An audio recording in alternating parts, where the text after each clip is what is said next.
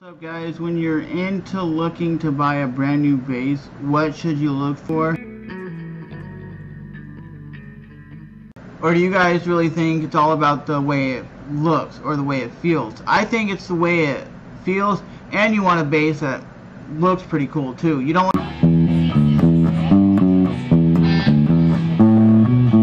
to just go out there and look at a bass and like, oh, it looks like a Warlock or it looks uh like a flying V, I want to buy that guitar or buy that bass because in reality it all comes down to the playability of these instruments. And a lot of times playability will make a really unique looking bass like a Warlock not that great because a lot of people don't like the look and feel of a Warlock uh, guitar. They just say it, it, it might have a cool look.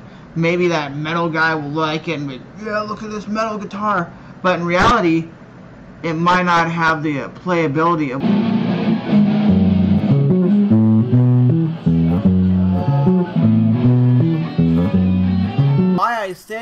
should go to the Guitar Center and try out your instruments, or go to your local guitar store and try out the instruments before you buy them, because nine times out of ten, you're going to look at a bass that you're...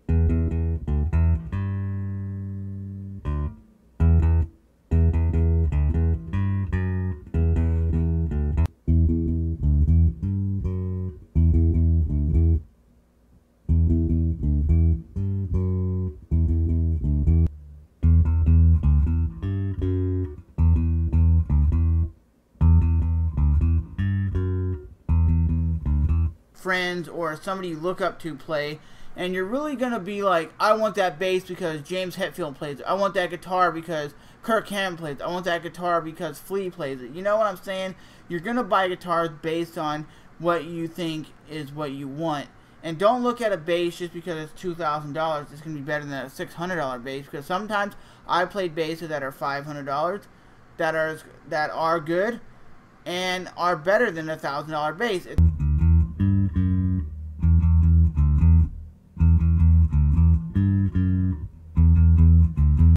How the bass handles when you play it.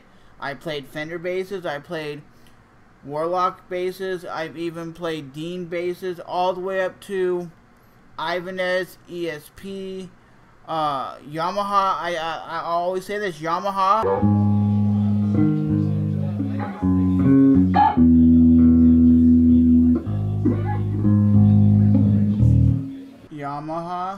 Is one of those brands that nobody brings up when they're uh, talking about instruments. No one's like, I got the Yamaha bass. It's always uh, Music Man or something like that. Dean is underrated as a bass company. I think they're known more for guitars than they are for basses. But I highly recommend you guys checking out both of those basses. The Dean Edge 09 bass is a very good starter bass. Look at the uh, Ibanez Sound Gear, really phenomenal uh, bass when you uh, first start out. Um, I think all basses, for example, should be played and tried out.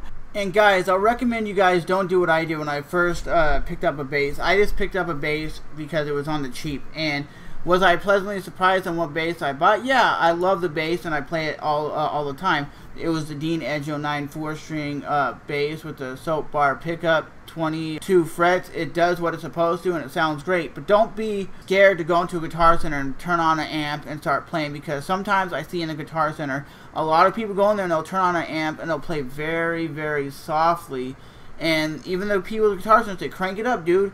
And they're like, really? You want me to crank it up? And they're like, yeah, you better crank it up because they don't want you to buy something that you're not uh, liking the tone or the sound. So I'll say this: one thing, if you're no, if you're a new bass player, new guitar player, bring people who are uh, intelligent when it comes to the instrument. If you know a guy who's been playing bass for five years, or someone who really knows what they're talking about when it comes to instruments, take them with you so they can help you out and pick out something that is going to be great for you. Or talk to one of the Guitar Center guys that really know what they're talking about and they can really sit down and tone in what you want and what kind of instrument you want. Because a lot of these instruments might be something you, you, like. You might like the look of it, but you're not going to like the playability. You might like one that has uh, a lower uh, action than a higher action. You might like one that has heavier gauge strings than another. So it all comes down to a lot when it comes to basses and guitars. Don't just go into guitars and that $50 bass. I want it because it sounds good. But as a beginner, all you really need is something that's going to sound good and create music because You don't need a $5,000 bass because sometimes you might play a bass for the first six months and then get sick of it and then not play it ever again.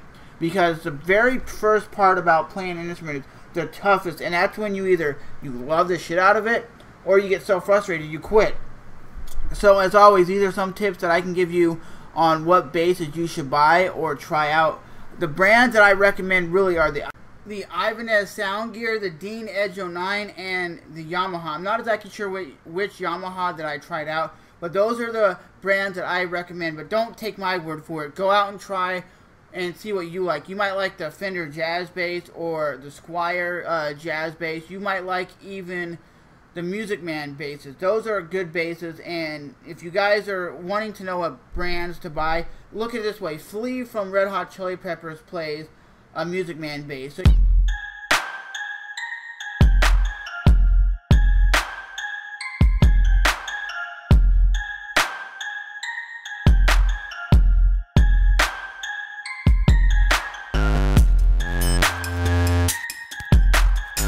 check out his bass. And if you like Metallica, um, Robert Trujillo, the bass player of Metallica, plays a Warwick rock bass, if I'm not mistaken, that's the model. And Jason Newsted plays an ESP bass. Those are some uh, really high-end uh, bass players that people know that play uh, really high-end uh, uh, instruments.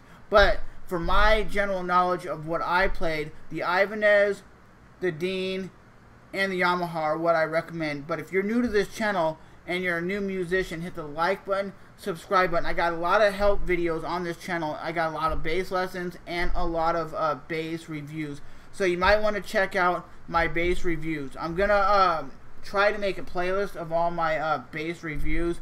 So you guys who are new, you guys can click on that and you guys can see the different basses that I've checked out and I own personally. So you guys can make your own ideas of what you want when you're playing bass. So as always, hit the like button, subscribe button, and I'll definitely talk to you guys next time. Hopefully this helped you out on what you should get, look for when buying. You could be a five-year veteran playing bass. This is just something I thought you guys might enjoy uh, learning about playing bass and buying basses and instruments.